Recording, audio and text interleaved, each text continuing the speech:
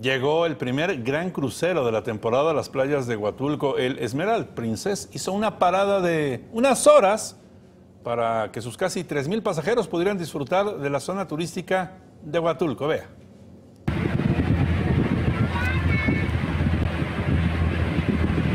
El primer crucero de la temporada llegó a Huatulco.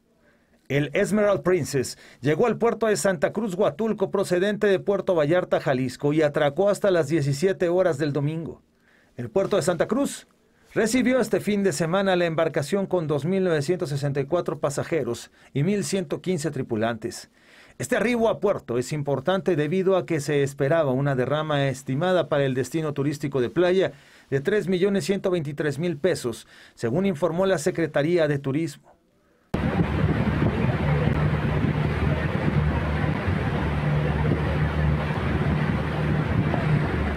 Con su llegada inicia la temporada de cruceros 2023-2024 en la entidad oaxaqueña, con lo que continúa posicionándose como un lugar ideal para este segmento que favorece la economía de la zona.